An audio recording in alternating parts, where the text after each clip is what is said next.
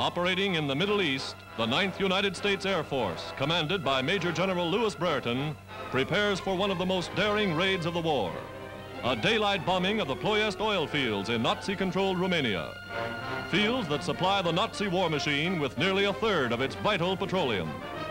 Now, from bases in North Africa, 1,200 miles away, American bombers are ready to strike.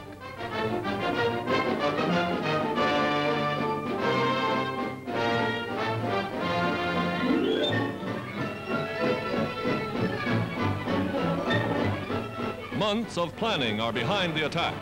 For weeks, crews have studied their target, made practice runs perfecting the precision of the bombardiers. Now the great fleet is skyborne. More than 175 giant liberators streaking across the Mediterranean and not an enemy plane in sight. Over the coast of Greece, across the rugged Balkan Mountains, past the Danube, the bombers roar upon their mission. The first wave swoops low as the target is sighted.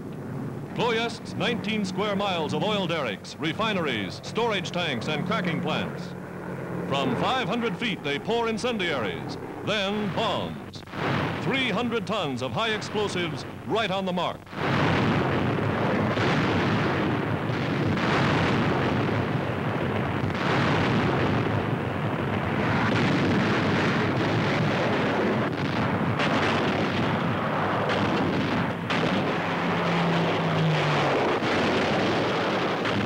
Braving one of the most heavily fortified areas in all Europe, the bombers fight their way home, knocking out 51 enemy planes.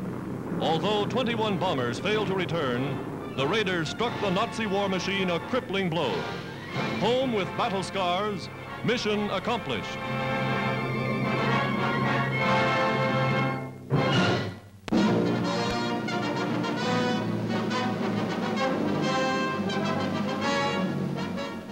Historic citadel of Quebec comes Britain's fighting leader, Prime Minister Churchill, for important military conferences with United Nations leaders. Welcomed by Mackenzie King, Dominion Prime Minister, Mr. Churchill brings his wife and daughter Mary, a subaltern in Britain's Auxiliary Territorial Service.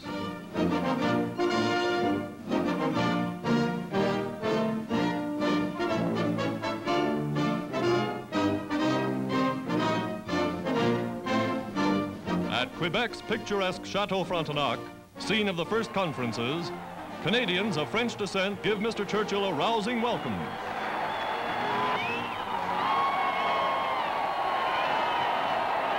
Today, his V for victory is more than a gesture of defiance. It is a symbol of achievement. Mrs. Churchill is popular here too. Her untiring efforts in behalf of Britain's war-torn families have endeared her to the people. This is the first time she has given up her war work long enough to accompany her famous husband on one of his many journeys. While Mrs. Churchill rested in Quebec, the Prime Minister visited President Roosevelt in the United States. Now, Mr. Churchill and his official party await the arrival of Mr. Roosevelt in Canada. Here, with other United Nations leaders, new drives are being mapped to bring the Axis to the terms of Casablanca. Unconditional surrender.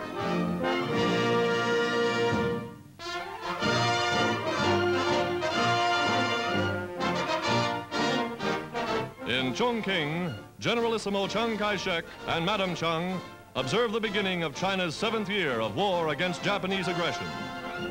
On behalf of President Roosevelt, General Stilwell presents the Generalissimo with the Legion of Merit, America's highest decoration to a foreign military leader.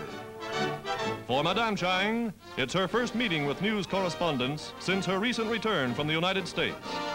Although still showing the strain of her long journey, she plunges anew into the fight to free China.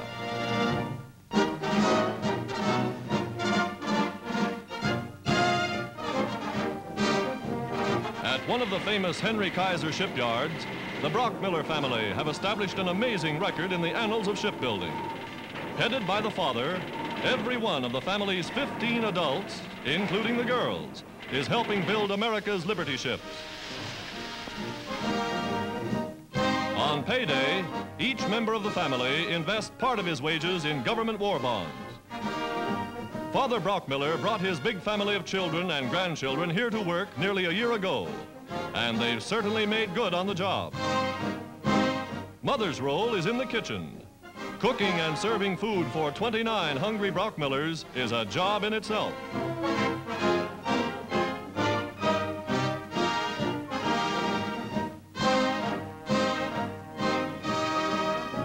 The Brockmillers, a family of patriots, workers on the home front, all helping to win the war.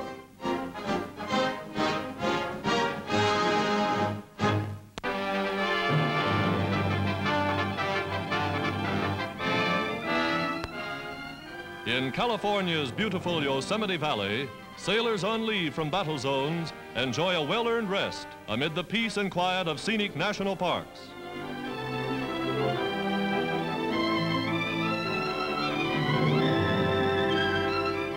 In surroundings like this famous resort, men respond more quickly to treatment, recuperate more rapidly from the shock and wounds of war.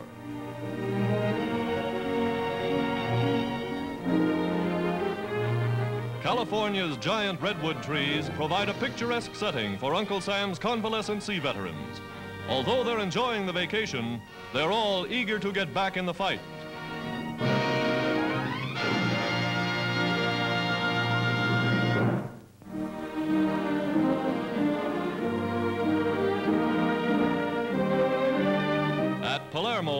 General Patton is welcomed to Sicily by Cardinal Lavitrano, the island's highest-ranking prelate. The church greeting the American army. The Cardinal says his people will cooperate fully. For the Americans, in the name of the United Nations, at last bring peace to Sicily. Meanwhile, United States engineers push ahead, spanning mountains with brand new roads to speed the Allied advance upon Messina.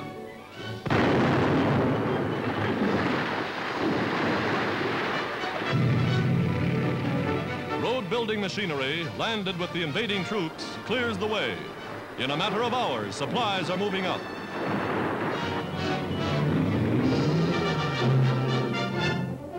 Bridges blasted by retreating Axis forces are quickly repaired.